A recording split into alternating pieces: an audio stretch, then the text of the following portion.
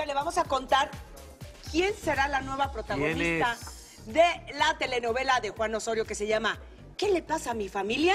¿Qué le pasa? Pues, ¿qué creen? ¿Qué? Ya se dijo, ¿ah? Ariadne Díaz. Ah, mira qué Eh, pues ella estuvo a punto de abandonar su carrera por... Vamos a ver qué nos dice. No, Ariadne. Ariadne Díaz confiesa que llegó a pensar en no volver jamás a las telenovelas. Esto tras haber vivido un momento de angustia y desesperación en el último melodrama que protagonizó. Yo, por ejemplo, tuve una situación en la última novela en la que estuve, donde mi hijo como que traía ahí una infección de garganta. Lo veo como que está como, como muy lloroncito y entonces se acuesta y le escucho los pulmones y escucho... Entonces veo que trae como ya flemas en los pulmones, o sea, ya es una Sí, neumonía. sí, sí, sí. Entonces le digo a mi esposo, córrele al doctor, por favor. Y entonces yo, imagínate en un foro a punto del 3, 2, y yo, espérenme, espérenme tantito, ¿qué? ¿Que hay que llevarla al hospital? ¿Qué?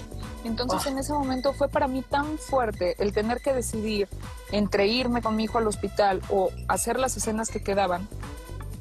Y fue tan duro para mí. Ariadne finalizó su llamado, mientras su esposo y su madre llevaban a su hijo al hospital. Ya de ahí dije, no es culpa del productor, no es culpa de la productora, no es mi culpa, no es culpa de nadie, es que las novelas son así. O sea, es un trabajo que es así.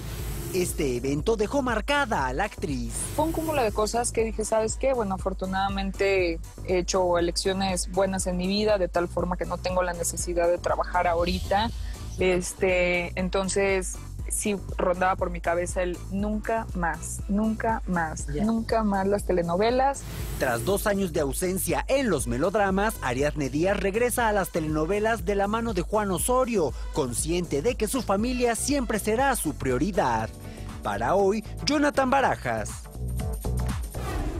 Es que sí, sí, Es- sobre todo cuando pues somos madres primerizas, eh, te da culpabilidad el tener que salir, trabajar, eh, pero pues sí, sí, son momentos que tienes que decidir, aquí es una cuestión de salud, pero muchas veces te das cuenta que lo mejor para los niños, no hablo de salud, ¿no? Es estar en casita, hablo de las mamás cuando queremos llevar a los niños donde quiera. No, si, si soy una mujer trabajadora y puedo llevarme a mi hijo, que lo cargo. Y entonces te das cuenta debe que es mejor estar en casita. O sea, ¿no? es difícil- una cuestión de... Es difícil hospital.